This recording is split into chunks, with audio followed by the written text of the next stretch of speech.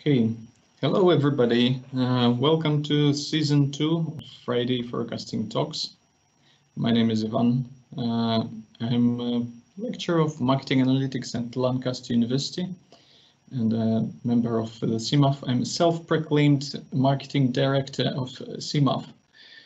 Uh, to those of you who do not know, this idea of Friday Forecasting Talks uh, appeared um, last year during pandemic, we thought that we want to keep in touch with other academics and with uh, practitioners and what would be the better format in the times when you don't have face-to-face -face, uh, than to have webinars. So we came up with that and we had last year 16 of webinars. They happen every Friday at every second Friday at 2 p.m. And uh, we as a center organized them. And here's the slide about the center. We have several professors. We still have uh, Robert Fildes here, although he's officially retired recently. But uh, being retired from the university, he's still emeritus professor and he's still a part of uh, our center. So we cannot just remove him from here. We also used to have Nikos Kourentzes, but he moved to Sweden. He's still a dear friend of ours, and we still work with him. Uh, unfortunately, he's not officially the member of the center. Luckily, we have new faces now because we have Dr. Anna Sroginis joining us, and uh, she, has, she has joined uh, since September, and we will have Dr. Mahdi Abolghasemi, who will join us in January. So you see the group uh, changes experience, expertise changes as well. Um, but uh, Friday forecasting talks stay with us. Now, I wanted to say a couple of words about the, the schedule of these events, something that uh, we have organized so far. So we will have six this term, so till December, and then we will have another six starting from January. If you want to get in touch with us, there is a Twitter account, there is a LinkedIn account. Uh, you can send us an email. And we also have this fancy YouTube channel where we upload all the videos from uh, these, uh, these events. Right, so we have uh, Rebecca Killick today, and uh, we actually decided to make this format uh, of talks even more exciting. So we asked our dear, dearest friend Nikos Kourentzes to act as a discussant. So we will have uh, a presentation by Rebecca first, then we will move to comments from Nikos, and after that we will go to uh, questions and uh, answers session. So Rebecca, over to you. Thank you. apologies everyone for the, for the move to Zoom. It's it's all my fault because um, I'm on Linux and Teams live events and Linux don't play well apparently. So mm-hmm. ap apologies for that. Um, so today, um, can I just check, can everyone see my screen all right? Can you see the presentation? Okay, so um, today I'm going to be talking about um, identifying sequential changes in um, within the mean and variance within more complex model structures. And you're probably looking at the title going, how does this relate to forecasting? And it's one of these um, projects where um, forecasting wasn't our original goal, but we actually found some interesting insights. So I'm, I'm going to present the work to you as we discovered it, um, and then you can kind of come along the journey with me in in discovering the the insights into into forecasting um, as we discovered them. Um, so this is joint work um, with um, Ivan as well and um, a PhD student that we jointly supervise called Thomas Grundy.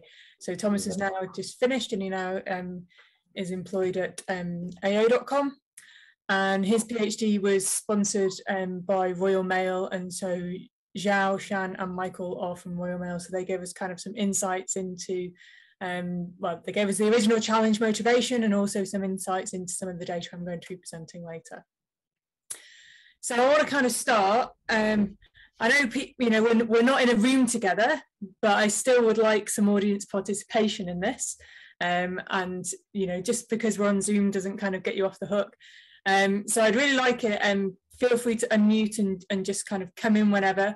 How would you guys go about modeling this type of, of time series here? What are the key components that you can see that you think would have to be within a model? Seasonality, maybe? Yep, seasonality.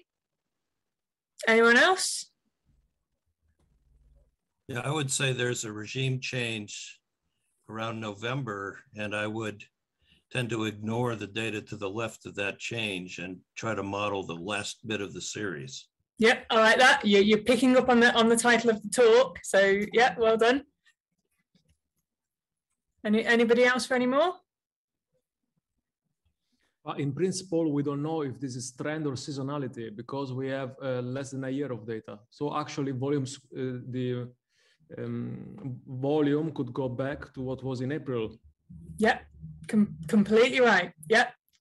And um, so the things that I kind of picked up on with this um, is kind of looking at you've probably maybe got some multiple seasonalities here. We can kind of see um, there's kind of some periodic behavior on, on a smaller scale, but also potentially, um, as, as someone pointed out, potentially um, seasonality, we don't know. It, it could just be a, a trend in the data uh, on the larger scale. So potentially you might want to put multiple seasonal frequencies in there. You might need some regressors. So we, we've got some potentially unusual observations around the kind of Christmas period here. Um, that, so maybe we might want some regressors for holiday periods in there. We don't really have Easter on this, so so maybe not. Um, but yeah, we may want to put some some things like that in. We may have some explanatory series that might be able to explain some of this variation or, or the trend that we're seeing. So we may want to put in some of those if we have them. And we may also want to put some kind of other lag dependencies, maybe some um, AR structure or MA structure, or, or however you might want to, to characterize um, that kind of dependency on, on maybe the recent or, or long past, depending on whether we see any long memory behavior here. But the point is, we wouldn't just be fitting a kind of a normal distribution with a flat mean or something like that. We're looking at time series here. We're looking at potentially quite complex model structures that, that we might want to um, bring forwards. So somebody's already kind of noted that there may be maybe a break in the series here. So this is actually counts. So this is why the variance increases with, with the number of observations here. Um, but if, if I move to the second example here, this one has a much clearer um, break structure towards the end of the series. And I've deliberately removed all of the scales and everything on this because um, we'll, we'll come and visit this um, series again later when I'll give you a bit more context. But there's clearly kind of, you've got a trend, there may be a break towards the beginning of the series um, or um, towards the, the kind of, in, kind of within the first third and, and then after the second third uh, of the series where it looks like there's, there may be a break in the trend. But if we're having um, potentially complex time series like we've got here, potential complex modeling where we've got multiple seasonalities, lots of regressors, maybe some explanatory series, complicated um, error structures coming in. And we just want to look at fitting a change in trend here.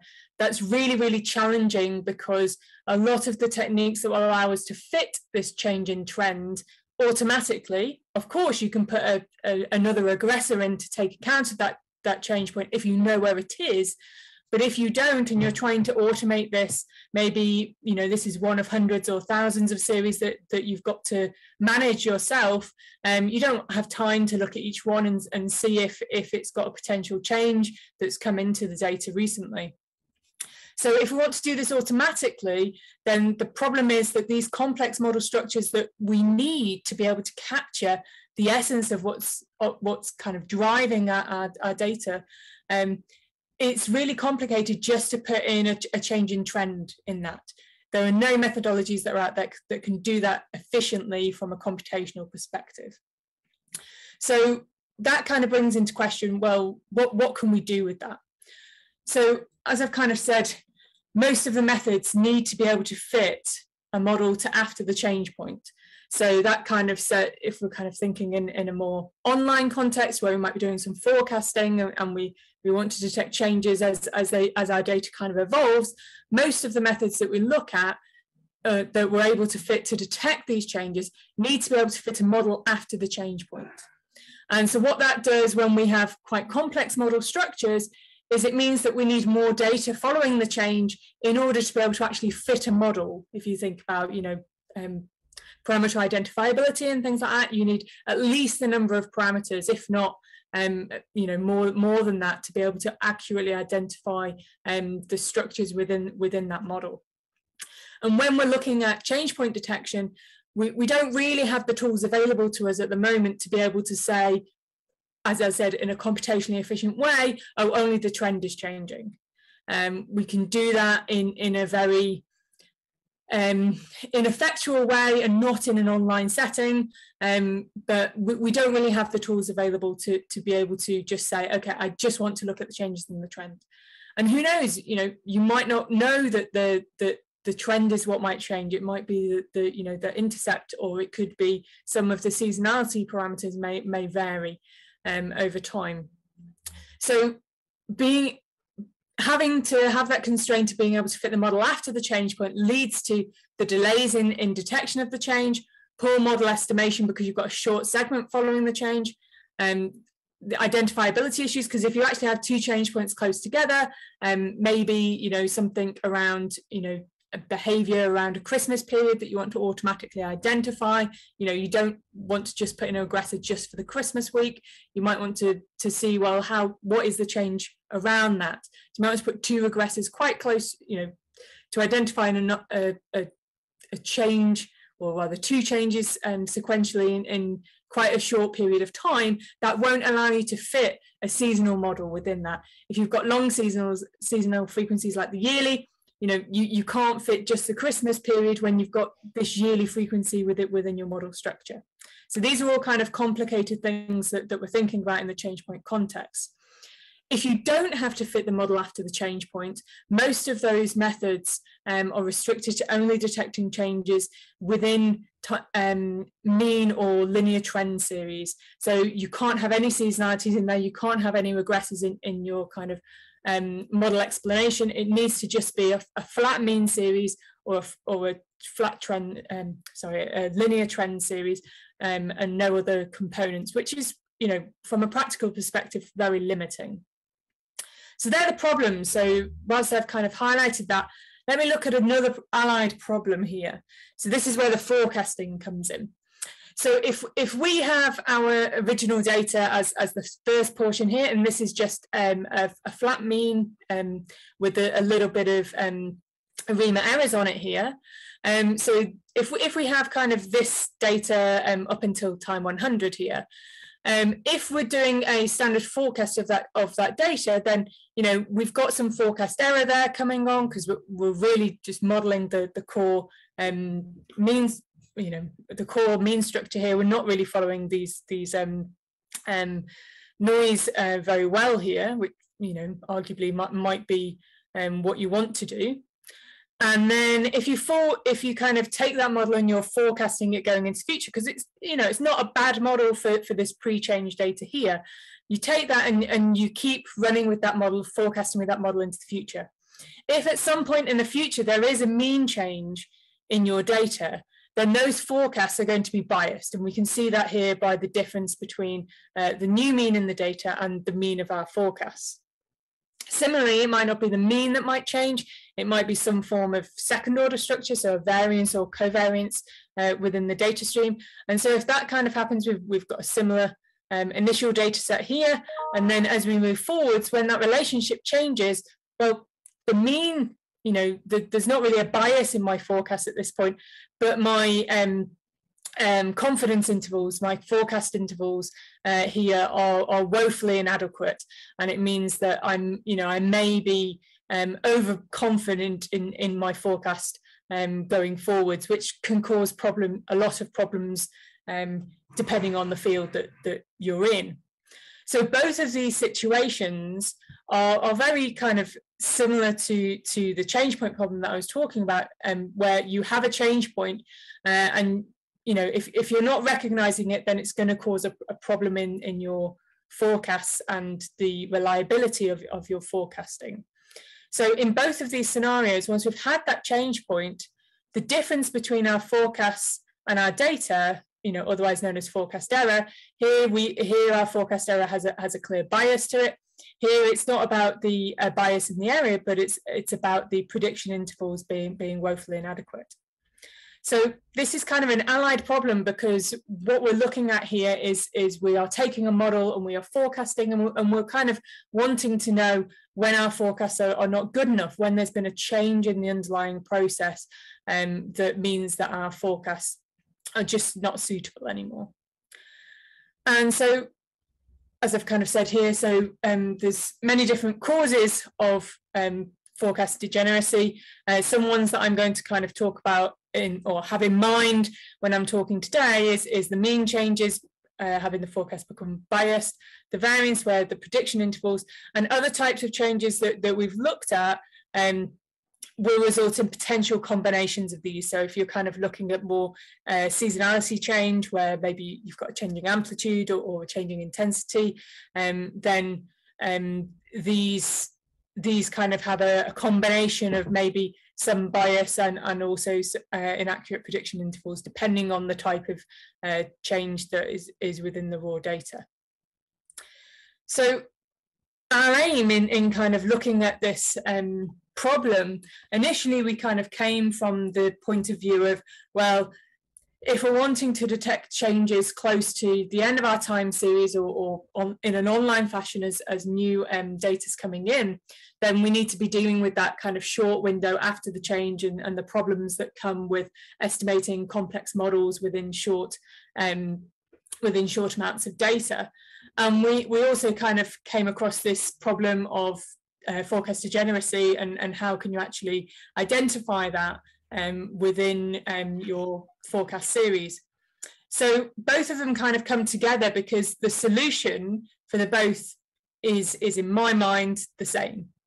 So essentially, in, to get over the um, estimation of the, of the model after the after the um, change point has been um, identified where you're trying to, you know, where you potentially have to estimate a complex model, instead of doing that, let's just use the forecast errors.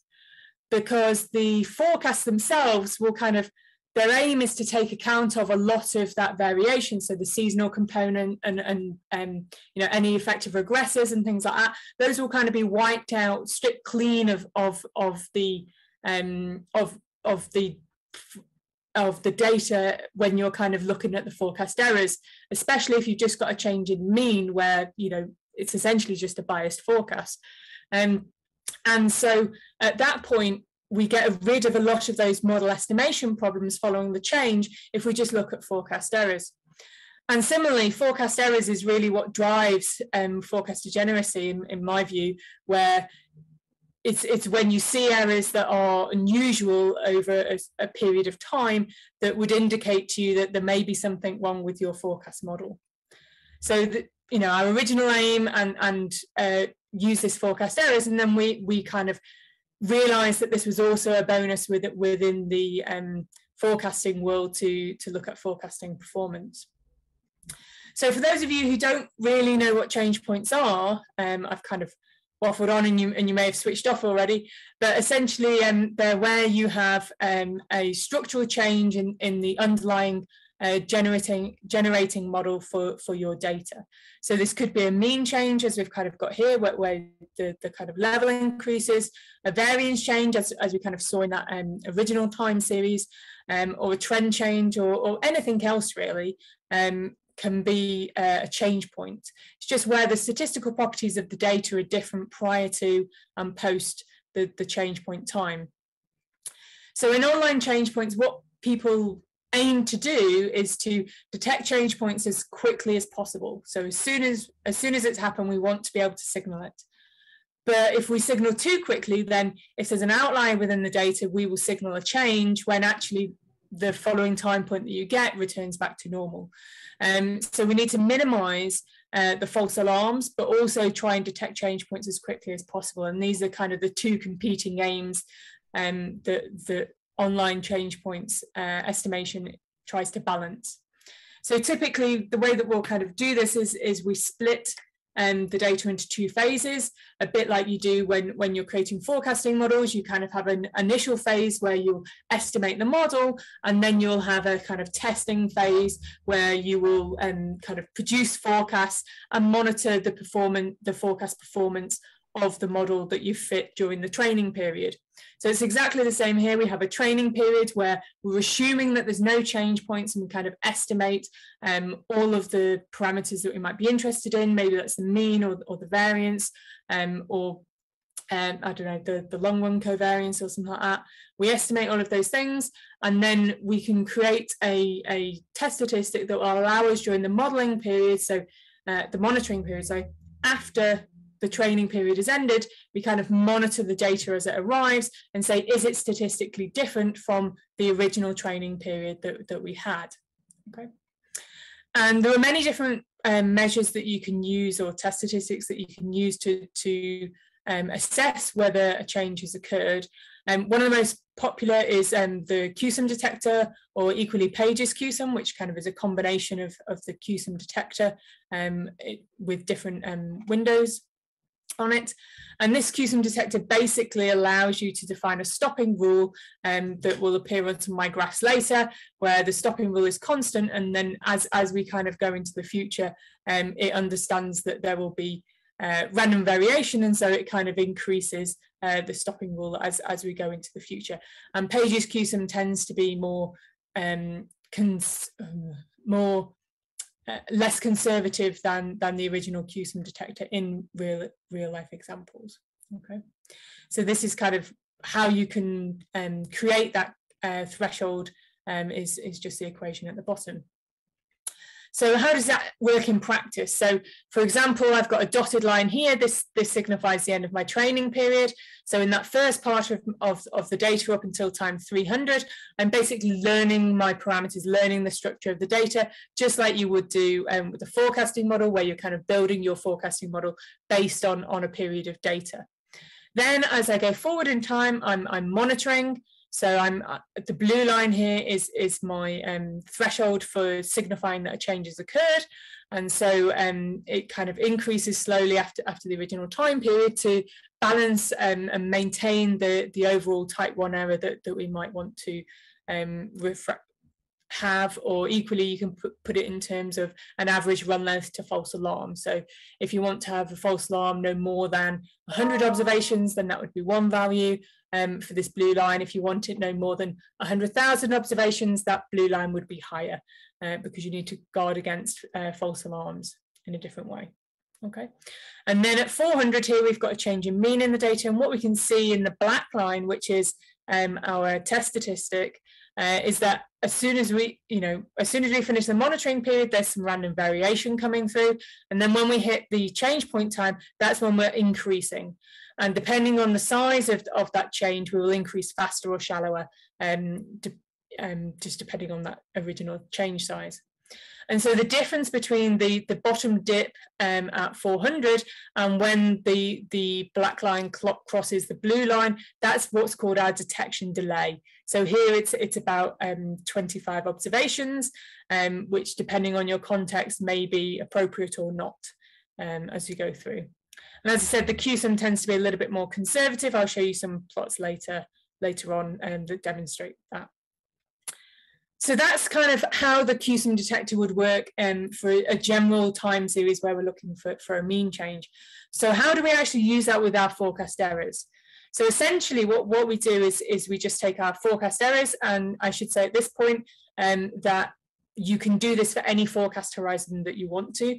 And we're going to do it for, for one step ahead forecast, but the, the same process works whether you're looking at two step ahead, 10 step ahead. And theoretically, you could do a, a multivariate version where you, where you look at say one to 10 steps ahead, all kind of um, independently calculated as forecast errors and then kind of updated um, through time um, and analyzed multi in a multivariate context. But we, I won't go into that here.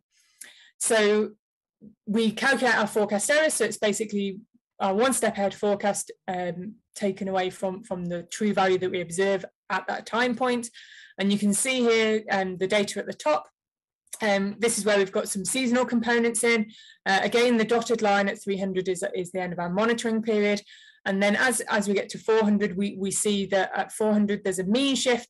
And so we're continuing the same pattern, um, but with a mean shift uh, in there. And you can see that through the difference in the blue line, which is our forecast. So we've got our forecast in blue, our data in black, and then the difference between those is, is just what's plotted on the middle graph there, where you're looking at the errors. And this is what I was saying earlier, that the, the forecasting aspect basically strips out all of that, that those seasonal components and we're just left with, with the error structure, which if, if assumptions are correct, um, in the majority of models would, would be normally distributed with um, mean zero and then some um, variance term. So this then obviously when we have a bias in our forecast, that mean is no longer zero anymore. And that's what's kind of giving us our ability to find the change point. So our CUSUM detector at the bottom um, finds a change point after about 10 observations after, after the true change, um, which I, I, hope you would agree would be a lot harder to, to identify in the original time series because you wouldn't know if, if that jump up was a mean shift or, or whether it was um, uh, just an outlying observation that is obviously, depending on the dependency structure, has affected quite a few observations following as well. So that's kind of how, how we, we, we look at this. Um, so in that sense, um, you might want to ask about variance changes. So similarly, um, so we have the same original data here, and then we've introduced a variance change at 400, which you can see here um, means that the prediction intervals are no longer um, um, reasonable for this data. Again, um, we're going to look at the forecast errors, but instead of looking at the just, just the errors here, which would still have a mean zero, we're going to look at the squared errors here because looking at the squared errors is, is, is um, basically akin to the, the variance of, of your forecast errors. And so we're, we're looking here, uh, the squared errors, you can see there's a clear change here. And when you, you do the cumulative sum of those squared errors, that then gives you again a, cro a crossing point um, of around 415. So whilst it's a little bit easier to see the variance change within this specific example, um, it's it, variance changes are notoriously harder to, to detect um, than uh, mean changes. Um, and again, we can kind of see that the seasonal structure has been stripped out, and so, so we're just left with um, the, these will be um, chi-squared errors here. So it's all well and good me kind of giving you a few examples within the paper itself. We kind of go through the theory behind this of how um, we can be sure that these change points in the um, forecast errors are actually driven by changes in the original data structures.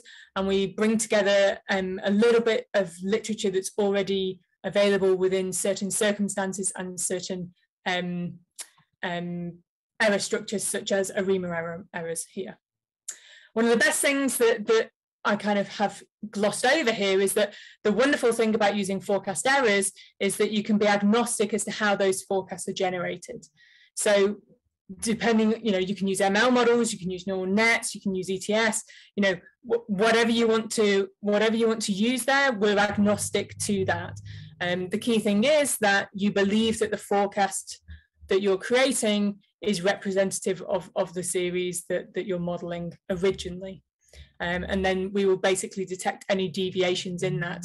So if your original forecast model is, is not really appropriate kind of from a longer term perspective and it's just you know it's the best thing that you can fit on that short term perspective we'll we'll be able to detect that as as we get more data coming through as well that that basically the model that you've chosen is is not appropriate so I've, I've kind of said about both CUSUM and the, the CUSUM of the squared forecast errors. So clearly the, the CUSUM of the raw forecast errors is, is looking at first order properties. And then the CUSUM of the second uh, of the squared forecast errors is looking at more second order changes, so more your variance and covariance um, structures coming through there. It can also detect mean changes as well, just by the nature of, of the fact that mean changes will translate through into the squared forecast errors. Um, but it, we do show in the paper that actually it's more accurate to use the CUSUM of the raw forecast errors um, going forwards. So I just want to kind of give you a couple of examples here. So one here is um, the A&E admissions. So this is kind of the original data that I showed with no um, axis and things. So we can kind of see that there's trend within the data. Um, if, if we look at it um, more closely, there's, there's um, well, we use an ARIMA model structure um, on the errors and the seasonality coming through here as well um, with the 12 months of, of the year. Um, so it's monthly data here. And so you can imagine that, you know, if, if you're looking at this in a sequential manner, you're wanting to, you know, you've already, for every month that you have um, where your forecasts are incorrect, you're, you're losing um, money, you're losing time, you're losing efficiency. Um, and so because the data is monthly, it, it can be very challenging um, to have long detection delays uh, for this type of, of data. Um, if I was wanting to kind of model this, because I've got a yearly frequency here, if I was actually using a model-based change point approach here, then I would have to wait at least a year after the change point to be able to identify it, which I hope you you can agree is is not appropriate for for these sorts of um, for these sorts of data structures. So this is A&E admissions with the gallstone pathology, so it's not the the total A&E admissions at all, and the um, department is is basically using this information to be able to predict um, admissions. And if they can predict admissions, um, you know, at, at some level of accuracy, then they will be able to schedule elective surgeries and other things for more quieter periods um, of the year. So typically gallstone um, pathology can be very sudden and need emergency care, but it can also be longer term where they have more elective surgeries where somebody would need to have surgery, say, within the next year or so.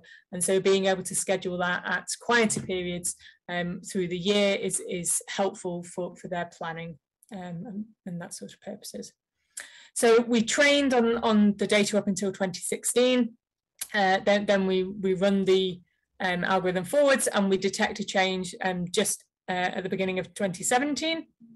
Um, this has been verified by an offline change. Well, I say verified, you can't really verify real changes in real data.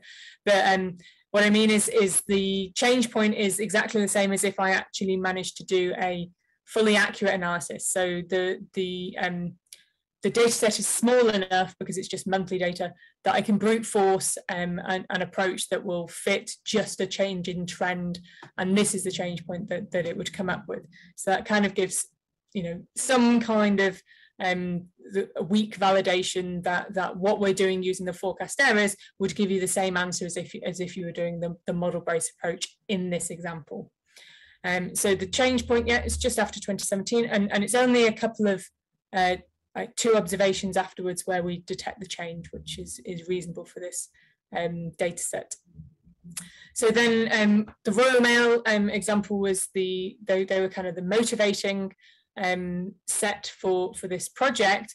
And this is um, the, num the TTP project. So it's the number of parcels delivered um, from a, for each delivery office. And they need to forecast the number of parcels that need to be delivered.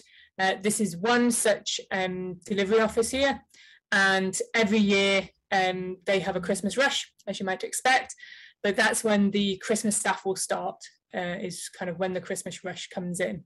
Um, and so the Christmas rush is at different times in of the year in different delivery offices. And so they need an, an algorithm that can automatically detect when, when the start of this uh, Christmas rush has begun and also maybe um, look at predicting this longer term as to whether the Christmas rush is the same across years and things like that. But that's not really what, what we're looking at um, in this uh, data set. So we train on the period up, and, up until November. We've, we've tried lots of different, um, I should say there's um, only the forecast errors are shown here, not the original data nor the forecast provided by Royal Mail. Um, there's much data, much more data going further back, but I kind of just wanted to zoom in on on this period here. So we train up until November. We tried other training dates as well with, with very similar um, results coming through.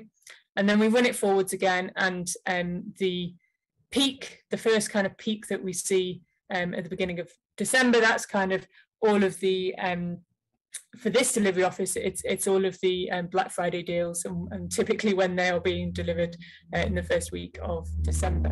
Um, so both the CUSUM and the CUSUM squared detect this very, very quickly. Um, if we look at another delivery office, um, you have a different picture going on here. There's more variability in, in general, um, and the um, I've, I've, shown a little bit more of the data here, and the um, methods kind of give you um, slightly different results coming here as to when that Christmas rush starts, whether it's the CUSUM or the CUSUM squared. they're kind of both saying that, well, they both detect it on the 4th of December, um, but the uh, origin is, is different depending on whether you look at the CUSUM or the CUSUM squared. So whether it's a mean change or, or a variance change.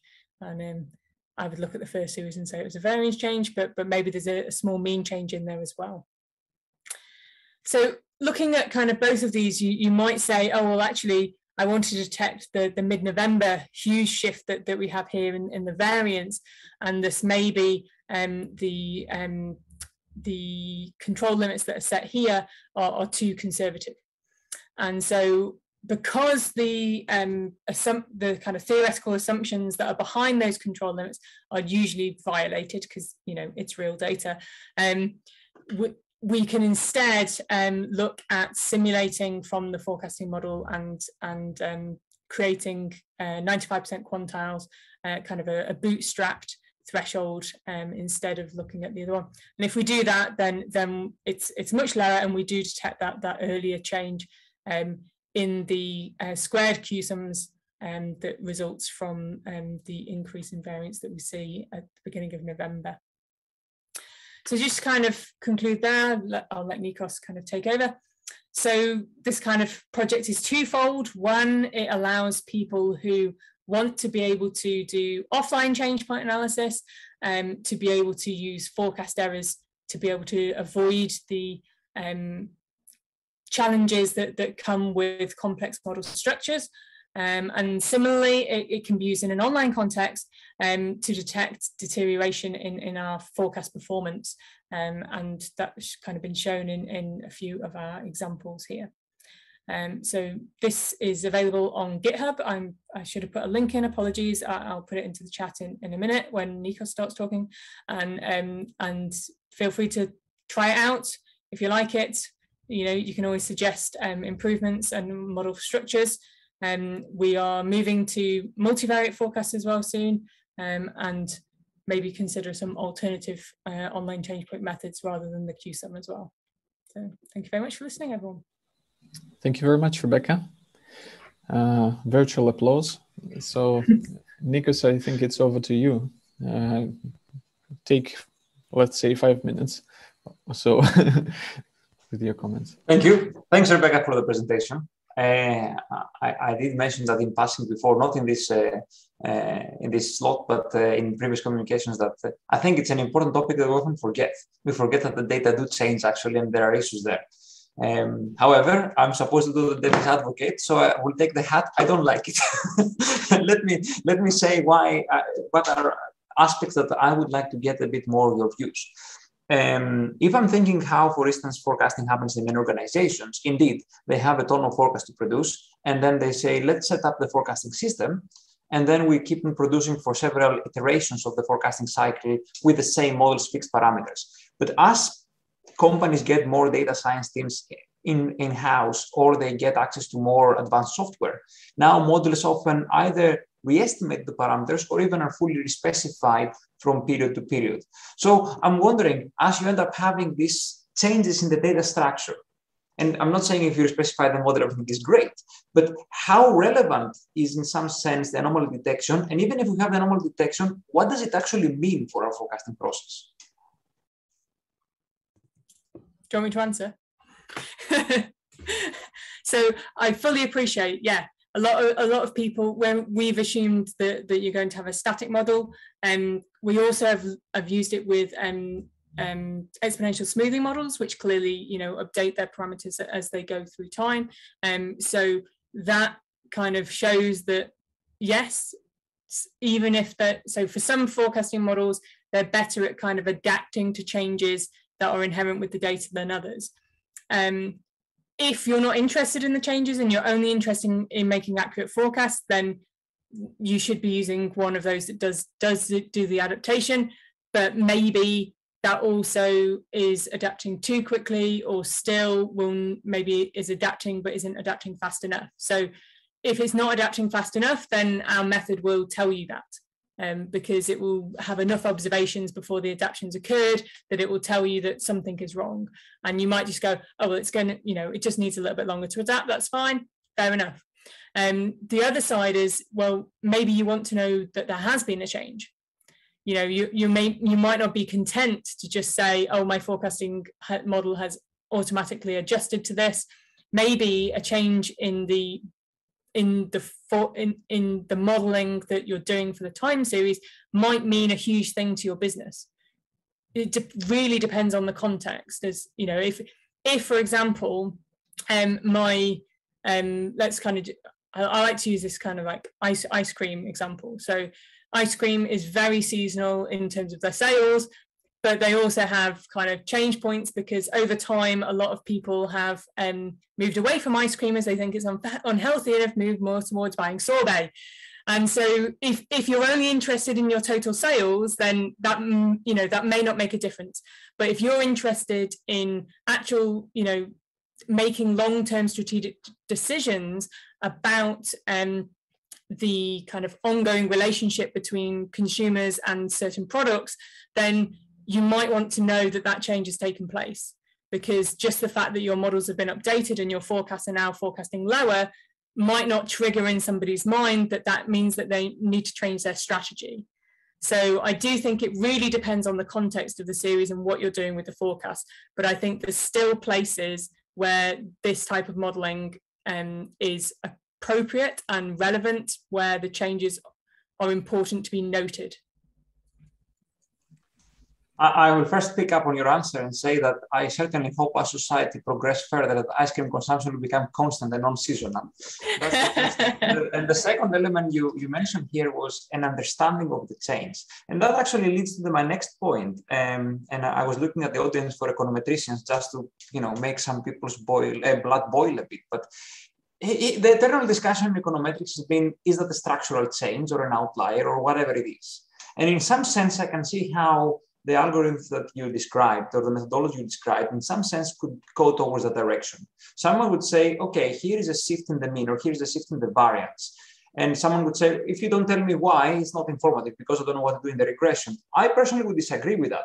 But I would still have the question of saying, suppose something happens and your, your, your technique would pick it up but then there is another shift and then you say all right it was not now an outlier or, or what not? So where i'm getting with all that i'm not looking of saying okay in this case it will work in this case it will not work but if if we don't really know the ground truth in simulated data of course we'll know but in real data we'll never know the ground truth. My personal perception is if i don't know the ground truth the ultimate test is a predicted test you know the, in the classical scientific uh, let's say brinking but in in our case if I would say there is a change, I need to put it in the model. How do I know actually that is not overfitting and it's actually giving me an intuition?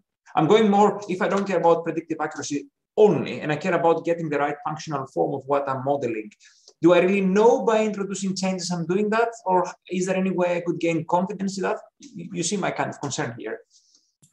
Yeah, so I think that's kind of link, leaking back in, into what the field calls offline change and change pattern analysis. So that's where the kind of the aim is is in making sure that the best model is is picked, um, not just the one that gives the best forecast accuracy.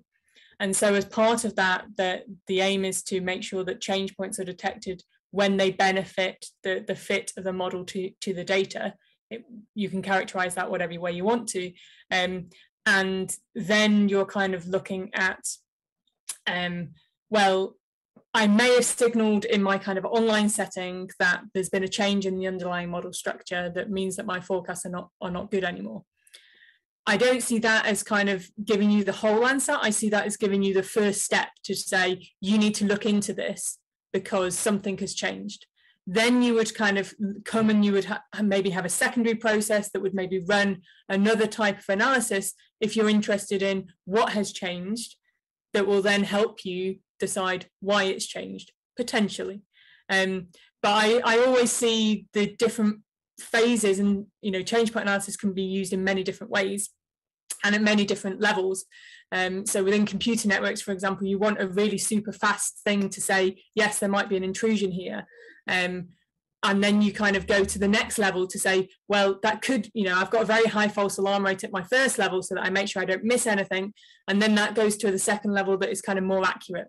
And I kind of see the same thing with this stuff here, where, where you're saying, okay, I'm doing my online thing. I may set it so it's got actually quite a high false alarm rate if I wanted to. And then that would trigger a, sec- a second type of process, which would say, actually, what has changed and when did it change? Because, you know, if the other side of things is if your forecast accuracy is is you know drifting very slowly, it could be a long time after the change until you actually identify it. Because that you know that slow drift it doesn't become a problem until you're very far away from from where you currently are. So things like that will will allow you to um, say well actually that change was two years ago i really don't care about that. You know if, it, if, it, if it's some slow drift um, so having those different levels of of um, of analysis i think is really really important to any problem do we have time to raise a third point uh, ivan if it is a short one, then yes. so one aspect that I always, again, connecting a bit to practice. In practice, they are, we may be developing more and more sophisticated processes and by definition, the same way, a bit better algorithms in forecasting, but still the behavioral aspect remains key. And the reason is because it can give us also information on why change is happening or why there is some outlier or shock anyway in the whole process. So um, um, one aspect that the literature has found several, in several different papers is that these uh, mental adjustments are inconsistent. Sometimes they do great, sometimes they do less great. And currently a lot of work that has happened in Lancaster has been to show actually that the difficulties in people identifying the information that is relevant, what are the cues that suggest a particular adjustment should happen, either in terms of timing or in terms of direction, size, and so on. So I was more or less thinking about the work you've been doing and thinking, can this be in some sense um, used to supplement the behavioral adjustment? So one I work, for instance, that uh, uh, Robert has done in the past with judgmental bootstrapping has been to say, can we take the, the adjustment as an indication and then use those to build a regression model of sorts or something like that to build a, a more objective uh, adjustment system. And now I'm thinking, mm, could we use actually a system like that uh, to somehow inform experts that oh something is happening or vice versa something is not happening? And you know the, the apparent answer is yes but here is where i'm getting a bit more confused. Um, it has a delay and there is where things get messy it has always a delay and also experts are a bit not so informed in how to adjust for the second moment uh, so the variance aspect so i was wondering if if you could think of any way you could potentially use all that to inform the experts, accounting for the lag in the information, and also that experts are pretty good at understanding variance. And that's my last comment. Then it goes to the audience. that, that that is an interesting question. I, as you were talking, I was kind of thinking, oh, this could actually be really interesting to kind of go into a consensus forecasting where you're kind of trying to weight the different um, forecasts that, that you've got within, you know, to try and come up with a consensus forecast. Because if one of them is is kind of going off and is is you know not reflecting the truth anymore, you can just discount it completely without having to do, you know, put that into your weighting metric. Anyway, but then you kind of flipped it and you went with, okay, well, how can we use this to inform the experts? And that's really interesting. Um, I don't, I, I, I, think I don't know enough about um, the kind of processes that go into it to decide. But I'm guessing that you could you could do the same thing by making them aware that the variances are increasing.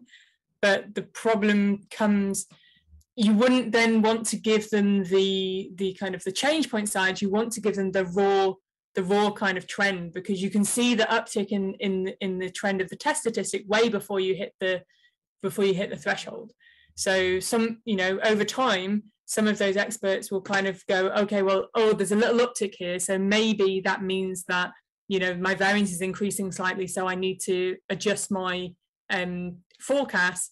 And then they adjust their forecast. So then the, the uptick then becomes a down, a downtick again. And, th- and then you're suddenly they're like, oh, well, that didn't manifest and you like yes it didn't manifest because you because you took a decision which changed the process or changed your forecast process anyway so yeah, it's it's interesting, but I, I would envisage that you could use the the um, trace of the test statistic to help inform them a little bit about that.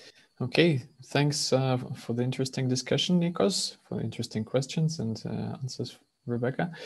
Do we have any questions from the audience? I have a very quick question. Go ahead.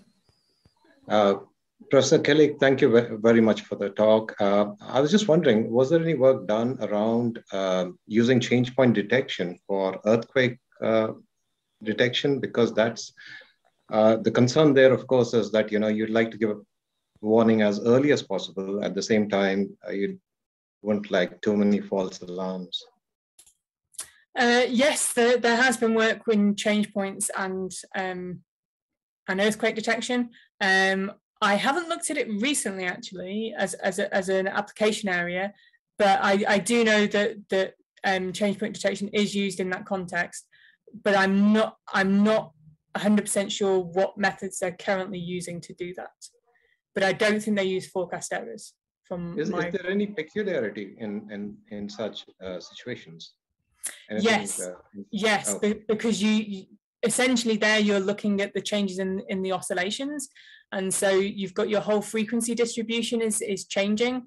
So that's really interesting from from the kind of point of view that you know you'll have general rumblings where the frequency distribution will change and so that will trigger a change point to go from dormant to a kind of rumbling at that point and then it's about well how can you detect the differences you know once you've got past that rumbling point how do you know the differences between that going forwards and that requires a combination of change points and classification whereby you're you're kind of saying well is this point for you know I, am going to say i've got a change point let, let's just say I've done that. And um, I then say, okay, well, the data after the change point, what structure does it look like? And so you, will have different traces from when okay. maybe that volcano or similar volcanoes um, or other um sorry i was looking at volcanic eruptions they're not talking about earthquakes but um you know you'll, you'll have similar previous data that you'll have a look at and then you'll kind of classify that developing time series into one of one of those classes based on that. That's usually what, what you would be looking at. Thank you. Thank you. Um, the question from the uh, from Salvatore Kissi, how can we incorporate the structural changes into the future forecasts? Uh, that's just in the same way you would kind of do any modeling. So it's really up to you. If you believe in the exact change point location, you can just put a regressor in for that going forwards. Um, you would have to obviously then understand well what what is it what has changed so if it's the mean change that's easy. You can just put a, a, level shift regressor in. If it's a trend that's also quite easy. If it if it's a seasonality that's changed then maybe you need to do something a little bit more sophisticated with that. Okay thanks. Uh, there is another question from nikki. And it's a bit uh, tricky but maybe you will understand it better than i do. How long are the lags for the information about the change in the data, usually for yearly, monthly, daily? Okay, so the interesting thing there is it all depends on the type of change you're looking at um, and the size of that change.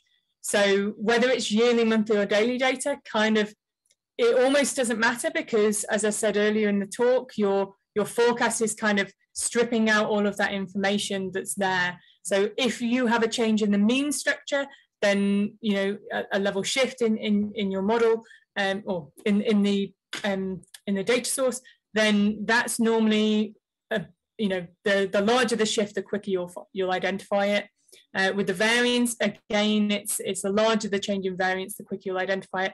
When you're looking at changes in seasonal structure, it will then depend on kind of how where you are in the seasonal cycle and how significant a change is at that point in the seasonal cycle. So if it's a huge change at that point in the seasonal cycle, then you'll see it immediately. But if there's not really a change in that part of the seasonal cycle, you might have to wait until another part of the seasonal cycle to be able to actually see this, the change, which kind of comes to the point where, you know, where do we say a change point is when we're kind of talking about that? Um, there's there's obviously if the if a certain part of the seasonal cycle is the same in in kind of before and after the change and maybe it's it's just that um you know in certain months you you've got an increase or, or a decrease um then obviously there's a lot of uncertainty over where that change point will have occurred at that point um but as, as soon as you've got um cumulative information that is is kind of large enough um that's when a change point will be triggered okay thank you i think uh, we have run out of time so let's thank everyone, uh, Rebecca, for her interesting presentation. Let's also thank uh, Nikos for his uh, insightful comments. And thank you all for coming and joining us. And hopefully next time we will have a better technology for the uh, webinar, not that. Or, or, you just have a speaker that's not on Linux. yeah. Thank you very much, everyone. Thanks for your, your participation. Good. Yeah. Have a good day, everyone. Bye bye.